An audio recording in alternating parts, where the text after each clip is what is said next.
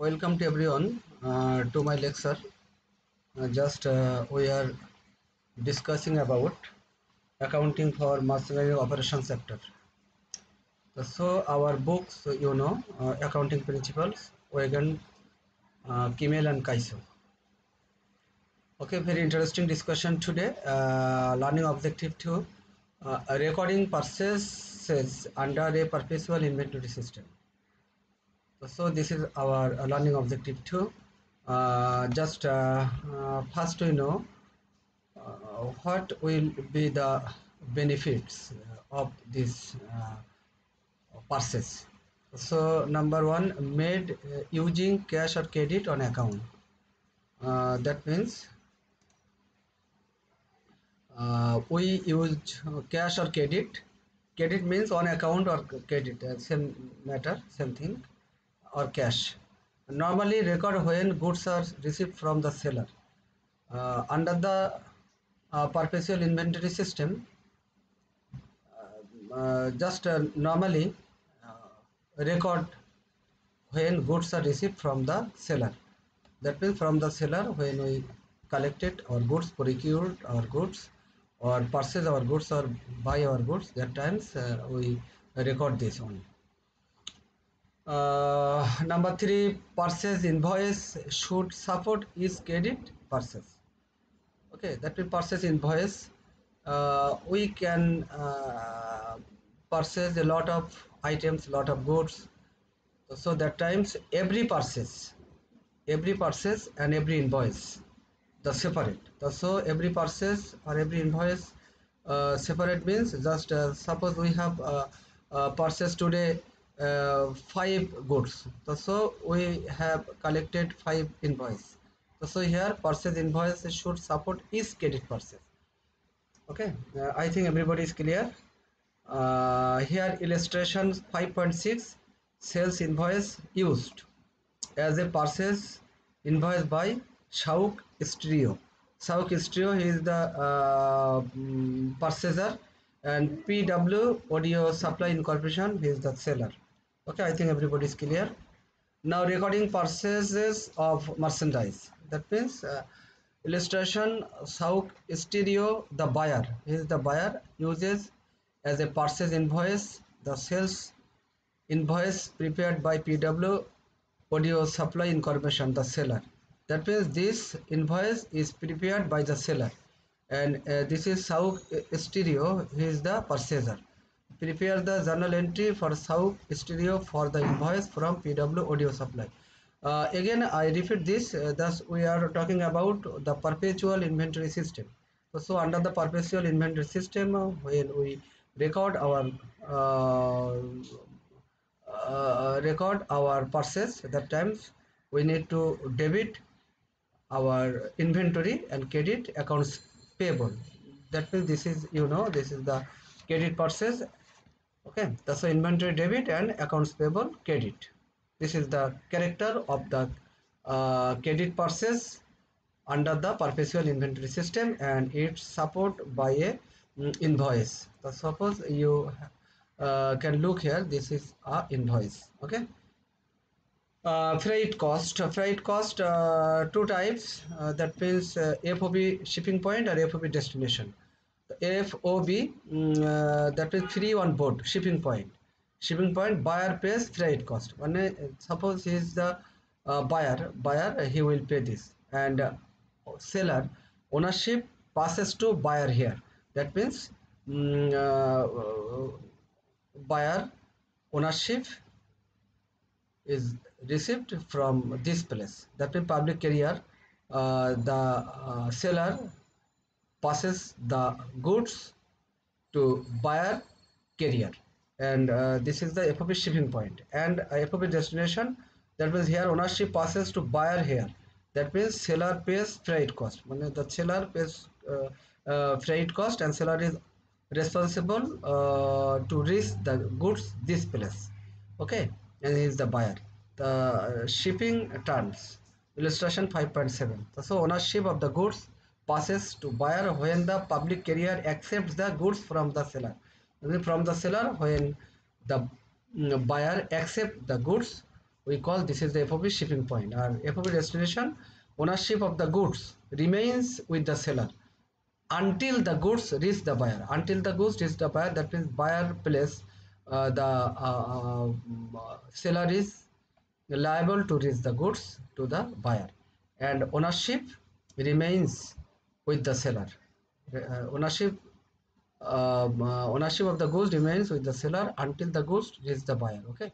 Freight cost incurred by the seller are an operating expenses. So here freight cost incurred by the seller. When the seller will incur the uh, incurred the freight cost uh, it will be the operating cost by the seller. I think everybody is clear. Uh, now we move to next slide. Freight cost uh, assume upon delivery of the goods on May 6 May 6 this is uh, everybody uh, uh will uh, just uh, remember this date May 6 uh, Sauk Stereo pays public freight company dollar 150 for freight charges. The entry on Sauk Stereo book is so here uh, uh, assume upon delivery of the goods. Delivery of the goods on May 6 how Stereo pays public freight company. Public freight company uh, just uh, the pays by the Stereo Stereo so, so here the inventory will be debit and a, a, cash will be credit. That means this is the cash paid. And uh, second one assume the freight terms on the invoice illustrate station 56 had required PW audio supply to pay the freight charges. The entry of by PW audio supply would have been would have been uh, freight out. This is debit and cash credit. Those are two matter. Here the uh, FOB shipping point and here this is FOB uh, destination. Okay, I think everybody is clear. Uh, return and allowances. Purchase may be dissatisfied because goods are damaged or defective or inferior quality of goods or do not meet specifications. In this case, sometimes the purchaser may be dissatisfied and he or the purchaser or buyer can return the goods to the seller. The purchase returns uh, number one. So we will understand this point. Uh, return goods for credit. If the sale was made on credit, or for a cash refund if the purchase was for cash. So here return goods for credit if sale was made on credit or if or cash refund if purchase was for cash or purchase allowance for this uh, and uh, purchase allowance may choose to keep the merchandise if the seller is willing to grant a reduction of the purchase price very easy to understand i think. Uh, these two matters. This is the purchase return uh, sometimes. The goods may be returned to the uh, seller uh, if uh, we have found any damage defective inferior quality of goods or do not meet the specification. And number second purchase allowance. Uh, sometimes the seller may be willing um, seller may will to grant a reduction of the purchase price. We call this is the purchase allowance. And in this case the buyer uh, will uh, benefit here. Okay i think everybody is clear. Uh, purchase returns and allowances. Returns and allowances. Uh, assume uh, Sauk Stereo return goods costing $300 to PW audio supply on May 8 in this case uh, accounts payable will be debit and inventory will be inventory will be uh, just credit okay uh, i think everybody is clear. And when i uh, bought these goods inventory debit and accounts payable credit. And when we return these goods uh, the uh, entry will be vice versa. Accounts payable debit and inventory credit. And now um, purchase returns and allowance question. Just this is the test question. Everybody uh, just uh, I offer this question to my learners. Can you answer this question? If a perpetual inventory system a return of defective merchandise by the purchaser is recorded by crediting which will be credit? Perpetual inventory system a return of defective goods. Uh, previous uh, uh, slide we have uh, shown this. That means inventory will be uh, credit uh, purchase discount. Uh, credit terms may permit buyer to claim a cash discount for promote payment. Okay. So, here example uh, example credit terms may read 210 net 30 210 net 30 means just uh, later on we will uh, clear these points. So, so advantage purchaser saves money. That means for purchase discount purchaser saves money um, that times when the purchaser pay to the seller that times he mm, must get some reduction so purchaser saves money. Number second seller shortens the operating cycle by converting the accounts receivable into cash earlier. A seller just uh, seller will get some benefits and shortens the operating cycle by converting the accounts receivable into cash earlier. That means as early as possible he uh, can collect the cash and he gets some benefits from the uh, from this transaction. Okay uh, now uh, we can move next slide. Uh, purchase discount uh, 210 net 30 210 means 2 by 10 n by 30 means 2 percent discounts if paid within 10 days. If the if the purchaser pays to the seller within 10 days. Uh, he will get 2% discount. And here uh, 210 net uh, 210 net 30 related to the uh, credit credit uh, purchase. Called credit purchase. So uh, here and all are related to credit purchase or on credit. Uh, so here 2% discount if paid within 10 days. Otherwise net amount due within 30 days.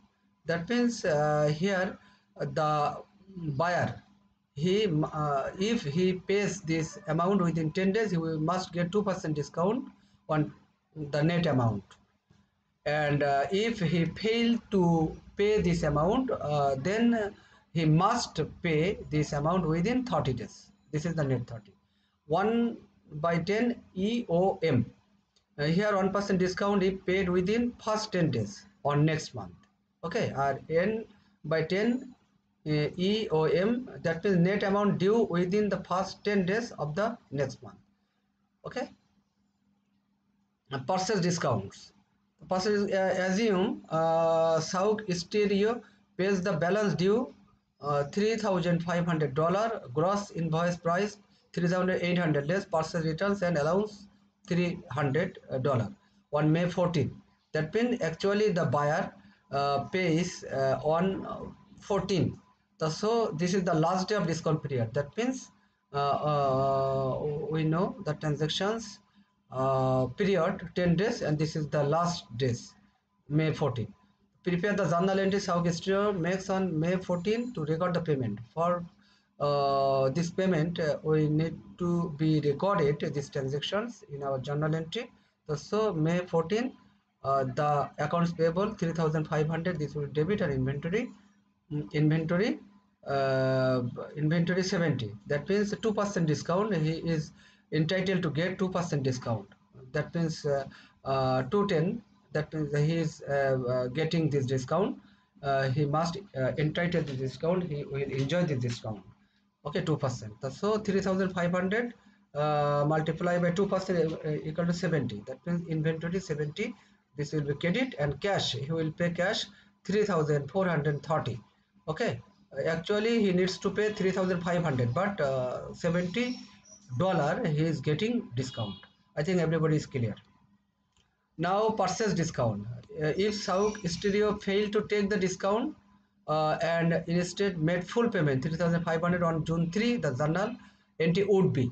That means uh, the buyer is completely failed to take the discount within 10 days.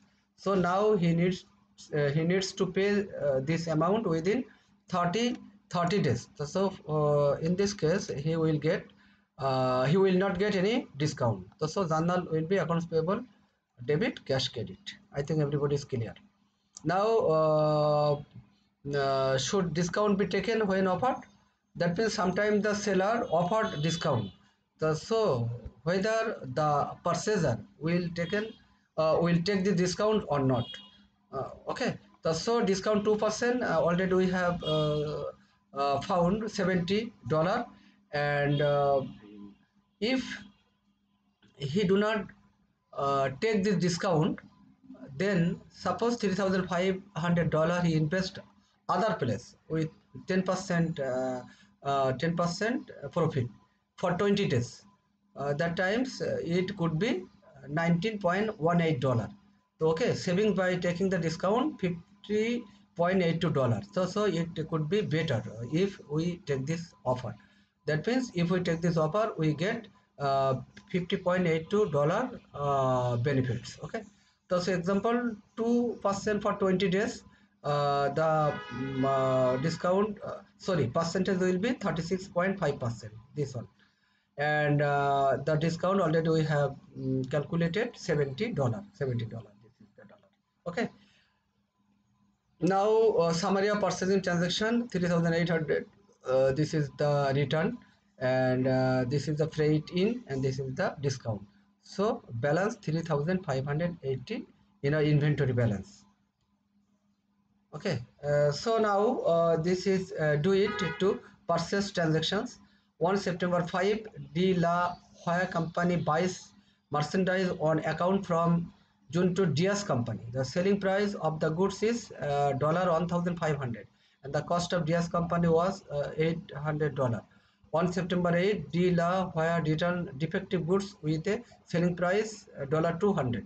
Recorded transactions on books of De La Hoya Company. There De La Hoya Company, uh, is the buyer the so first one we need to be recorded the transaction uh, the uh, inventory debit and the accounts payable credit and uh, you know return uh, here 200 the so here accounts payable uh, debit or inventory credit. Okay? I think everybody is clear here. Very simple uh, to get this point. Okay? Okay thank thanks to everyone for participating to my lecture